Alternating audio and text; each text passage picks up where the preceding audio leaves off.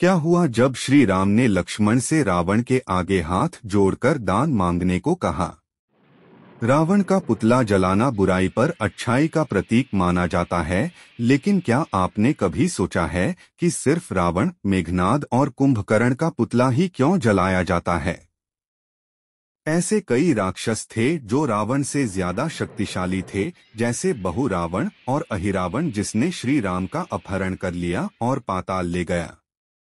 तो जानते हैं पूरी मिस्त्री विस्तार से विजयदशमी इस त्योहार को श्री राम के रावण पर जीत के कारण में मनाया जाता है। इसी दिन रावण, उसके बेटे मेघनाद और उसके भाई कुंभकर्ण का पुतला जलाते हैं।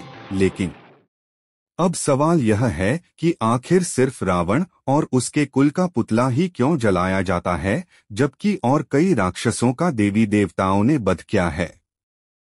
ज्योतिष डॉक्टर राधाकांत वत्स द्वारा दी गई जानकारी के आधार पर आज हम आपको इस तथ्य के पीछे का रोमांस से भरा सच बताने जा रहे हैं। रावण को लेकर धर्म ग्रंथों में यह वर्णन मिलता है कि रावण एक असुर होकर भी भगवान शिव का परम भक्त था, समस्त वेद, पुराणों और ग्रंथों का ज्ञाता था। कई मंत्र और प्रार्थना आज भोलेनाथ को प्रसन्न करने के लिए कही जाती है। रावण से बड़ा शिव भक्त संसार में न तब हुआ था और न ही उसके बाद कभी कोई अन्य हुआ। रावण ब्राह्मण कुल से था और सभी नियमों का पालन करता। रावण बलशाली तो था ही साथ में एक ऐसा बुद्धिमान भी था जो एक से बढ़कर एक भयंकर सभी असुर देते राक्षस को नियंत्रित करता था, बल्कि अस्त्र शास्त्रों का परम जानकार भी था। रावण का वध करना अन्य राक्षाओं के वध करने से कहीं अधिक कठिन था।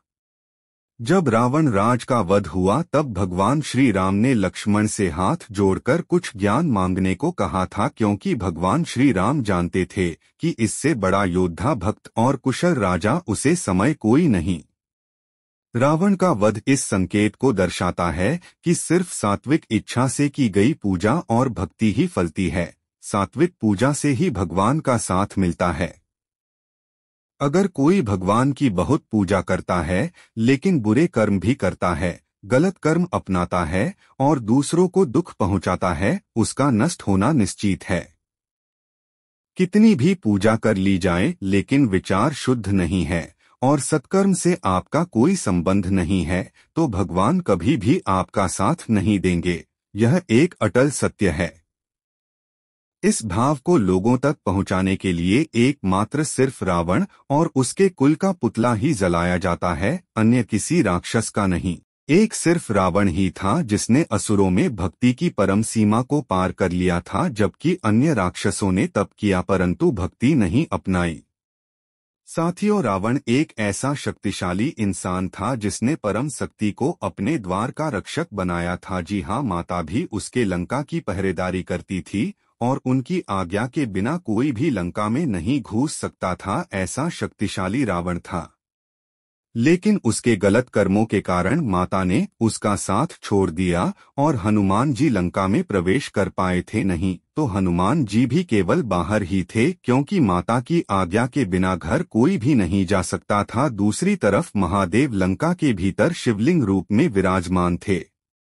जिस रावण से सभी देवी देवता डरते थे, क्योंकि उसने देवों को अपने महल में कैद कर लिया था, लेकिन हनुमान जी ने उन्हें छुड़ाया था और श्री राम जी सच्चे मार्ग पर चलते थे। इसी कारण आज हर घर भगवा, हर घर राम विराजमान है और अयोध्या में तो भव्य मंदिर बन रहा है। 22 तारीख को उसका उद्घाटन भी है।